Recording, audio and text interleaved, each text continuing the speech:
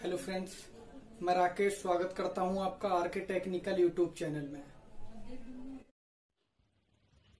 Channel को like and subscribe करें और बेल आइकन को प्रेस करना बिल्कुल ना भूलें। हेलो फ्रेंड्स कैसे हैं आप सब? आई होप आप सब अच्छे होंगे। देखिए आज की वीडियो का टॉपिक थोड़ा सा अलग है। इसमें आज ना मैं कोई आपको एप्लीकेशन के बारे में बताऊँगा, ना किसी इंटरेस्ट के बारे में बताऊँगा और ना ही आपको किसी मोराटोरियम जैसी कोई इंफॉर्मेशन के बारे में बताऊँगा। आज मैं मोराटोरियम के एक अपोजिट न्यूज़ बताऊँगा जो कि आपको कभी भी नहीं करना चाहिए। तो उसकी पूरी जानकारी मैं आपको दे दूँगा। जानकारी देने से पहले मैं आपको बता दूँ कि आप इस चैनल पर नए हैं तो आप चैनल को लाइक सब्सक्राइब कर लीजिए। अगर आप पहले से मेरे चैनल पर ज्वाइन है तो उन लोगों के लिए बहुत बहुत धन्यवाद। तो चलिए आज की न्यूज़ में स्टार्ट करता हूँ। आज मैं आपको बताऊँगा मोराटोरियम आप लोगों को क्यों नहीं लेना चाहिए। पहले मैं बता देता हूँ मोराटोरियम होता क्या है। मोराटोरियम एक ये होता है कि आपको, आप लोग समझते हैं ईएमआई रिलीफ है। ईएमआई में कोई भी किसी भी तरह का रिलीफ नहीं है। आपको आज नहीं, दो महीने के बाद पे करना ही करना है। मोराटोरियम का मतलब ये होता है कि आपको एक या दो या तीन, जितने महीने का मोराटोरियम होता है, उतने महीने का आपको टाइम मिल जाता है। और जो टाइम आपको मिलता है, उसके बाद में आपको वो पे करना पड़ता है विद इंटरेस्ट इंटरेस्ट क्या होगा? वो कंपनी डिसाइड करती है, वो 24 परसेंट भी हो सकता है, वो 30 परसेंट भी हो सकता है, वो 20 परसेंट भी हो सकता है. वो कंपनी कंपनी के ऊपर डिपेंड करता है. अब इसमें सबसे बड़ा फंडा ये आ जाता है कि मोराटोरियम आपको लेना चाहिए या नहीं लेना चाहिए.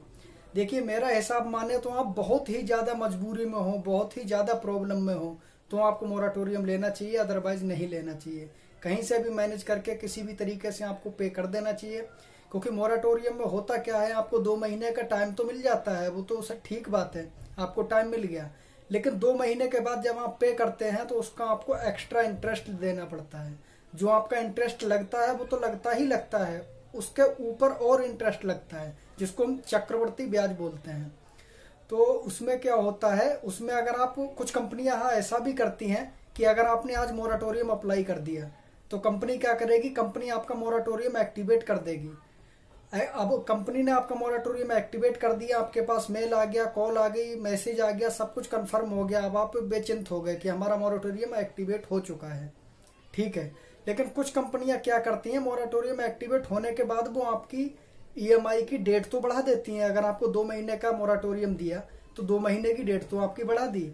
लेकिन उसमें वो करते क्या है? ईसीएस बाउंस का चार्ज काटते हैं। जो बहुत ही हाई होता है, साढ़े चार सौ रुपए साढ़े पाँच सौ रुपए, पाँच सौ नब्बे रुपए, इस तरह से होता है सी एस बाउंस चार्ज अगर आप माने तो नॉर्मल इंसान की दिहाड़ी नहीं है पाँच सौ नब्बे रुपए की, अब वो पाँच सौ नब्बे रुपए का ईसीएस बाउंस चार्ज काट लेते हैं. अब आपका मोराटोरियम भी एक्टिवेट हो गया, आपका ईसीएस बाउंस चार्ज भी कट गया. अब आप करेंगे कंपनी को कॉल तो कंपनी आपको बोलेगी, आपने हमें मेल किया था मोराटोरियम एक्टिवेट करने के लिए. हमने आपका मोराटोरियम एक्टिवेट कर दिया. अगर आप हमारे पास मेल करते ईसीएस स्टॉप करने के लिए तो हम ईसीएस स्टॉप कर देते अब आपने ईसीएस स्टॉप नहीं करवाया, वो हमने हिट किया बैंक को तो बैंक तो अपना चार्ज काटेगा बाउंस चार्ज एक फंडा यहाँ हो गया। दूसरी सबसे बड़ी मुसीबत ये आती है कि अगर आपने मोराटोरियम एक्टिवेट करवा लिया, यहाँ तक ठीक है। मोराटोरियम एक्टिवेट होने के बाद में अगर आपका ईसीएस बाउंस चार्ज कटता है तो ये कंपनी वाले आपका सिविल स्कोर इतनी बुरी तरह से खराब कर देते हैं, इतनी बुरी तरह से ऐसी तैसी कर देंगे आपके सिविल स्कोर की, कि वो सिविल स्कोर आप कवर करने में आपको बहुत सारा समय लग जाएगा। और हो सकता है इन फ्यूचर आपको जल्दी लोन अप्रूव ना हो। अगर कहीं से भी आप कोई भी सामान परचेज करते हैं ईएमआई पे, या होम लोन लेते हैं, या पर्सनल लोन लेते हैं तो उस समय आपको बहुत ही ज़्यादा प्रॉब्लम का सामना करना पड़ेगा।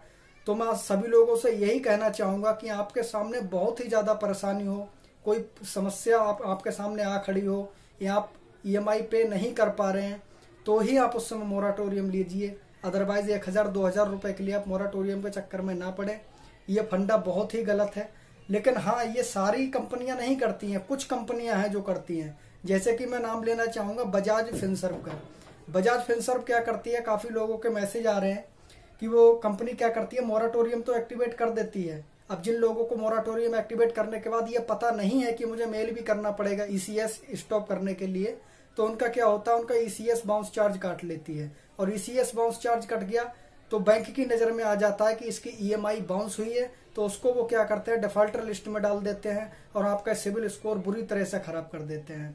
उस, उसके बाद में क्या होता है? आपको जल्दी कोई लोन अप्रूव नहीं होता है, ना ही आपको कोई कंज्यूमर लोन मिलता है। अगर मैं कंज्यूमर लोन की बात करूँ तो बहुत से लोग नहीं जानते हैं कंज्यूमर लोन कंज्यूमर लोन बोलते हैं जैसे हम किस्त पे कोई सामान खरीदते हैं। एसी हो गई फ्रिज हो गया, आपका और भी इलेक्ट्रिकल आइटम हो गया मोबाइल हो गया, ये सब कंज्यूमर लोन में आते हैं। तो प्लीज़ दोस्तों ऐसा कभी मत कीजिए, अगर आप पे करने की क्षमता में है तो आप मेक श्योर आप पे कर दीजिए। आप मोराटोरियम के चक्कर में मत पड़िए, क्योंकि एक या दो महीने का मोराटोरियम लेने में आपका कोई भी फ़ायदा नहीं है। सबसे पहली बात तो उस पर इंटरेस्ट भी आपको डबल देना पड़ेगा। दूसरी बात, अगर आपका ईसीएस e बाउंस हुआ तो आपको इन फ्यूचर कभी लोन नहीं मिल पाएगा। क्योंकि वो आपका सिविल स्कोर तो खराब करेंगे ही करेंगे।